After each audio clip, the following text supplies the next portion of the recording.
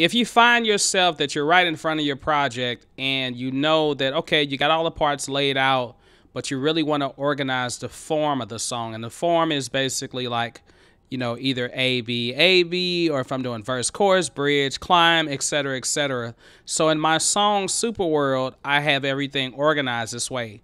And if you're not sure how to use the arranger tool, then definitely check this video out. I deleted some of the arranger parts that I had assigned. So now, if you want to assign your arranger to a certain section, you can just click wherever you want it at, and then you backtrace basically, and it'll say add section. All right. Now it adds a section, and then you can go over to the arranger option, which is all the way to the left if you're looking at the track view. And then you'll see it right on the side that it added section 17, okay? And I think I had some other ones that were still here. That's why you see section 18, etc. Some of these other ones. So section 17, I can go, I can rename it, I can duplicate it, I can do a few other things too. I can tell what type of section it is. So they have some that are already in here. Or I can add a new one so that way I can use it later on. And I can change the color to it. Once you do that, then you can set it up as an arrangement. This is kind of like learning all the letters in the alphabet, right? These are all my letters that I can use. Down here is the arrangement. So I can use those letters to make my words, or my musical words, rather.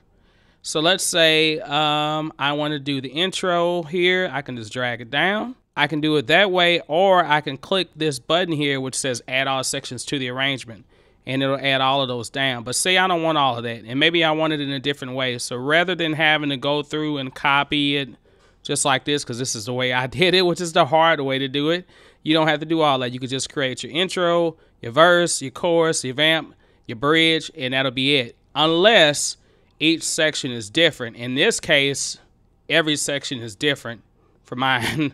so that's why everything's a little different. So I bring the intro down. I can bring the verse down and let's say I just want to bring the chorus down. And then I can press play right there and it'll go through each section.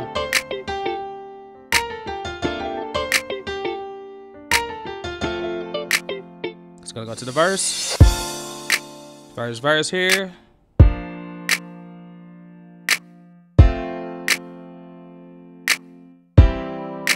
Go to the chorus. I'll be a superman.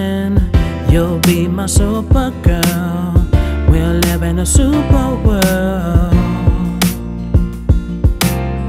I'll be a superman. You'll be my super girl. We'll live in a super world. So and that's that basically. That would be my arrangement. Now, of course, that was not the quite smoothest arrangement uh, and that's because musically everything has to lead into each other. But this is a good way where you can arrange your song.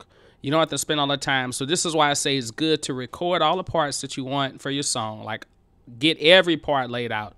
All your horns, all your strings, all your piano, all your drums.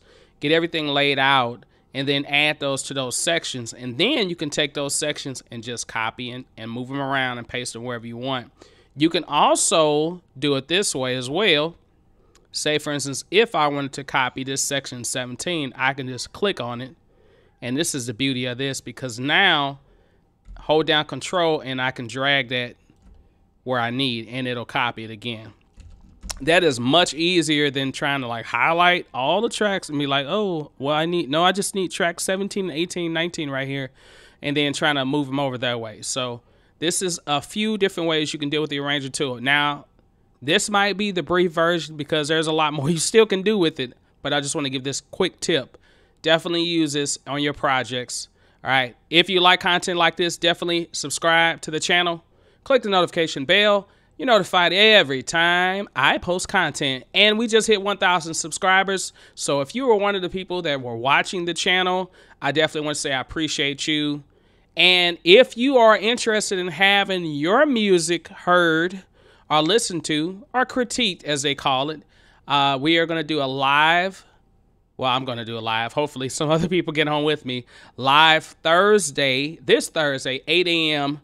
And if you want to submit music to be listened to, there's a form that you'll find in the description below. All right, so make sure that you click on that and go from there. All right, take care. Love you all. Peace.